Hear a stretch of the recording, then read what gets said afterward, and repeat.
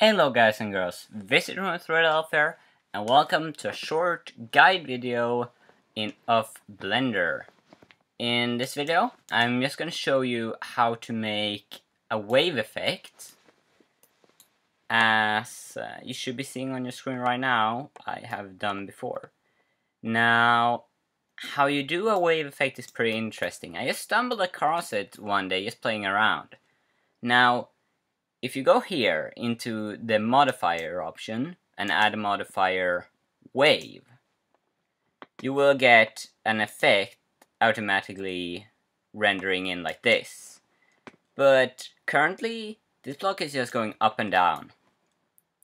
We don't want that now, do we? So we go into edit mode, choose the face select, and then by going here on the right, we can subdivide it a few times, like that.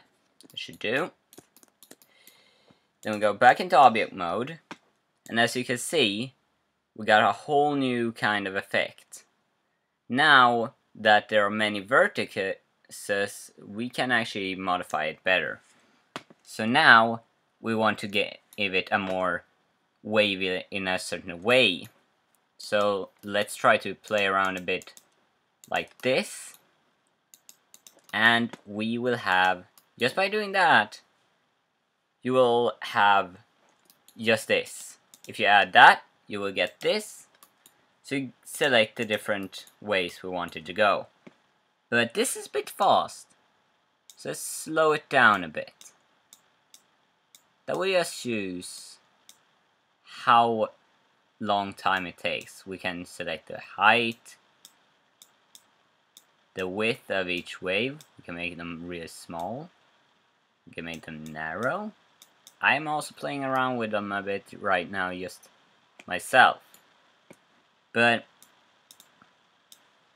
yeah, as you can see, this is a pretty interesting toy.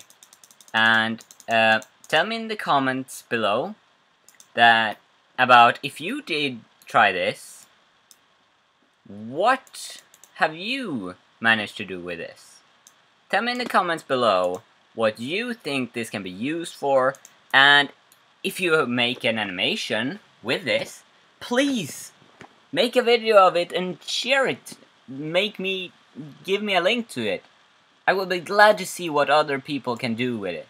After all, that's what Blender is for. We have it we can download it for free and do essentially what we want with it. Anyways, I'm Visy23 Elf, thank you for watching, and until next time, see ya!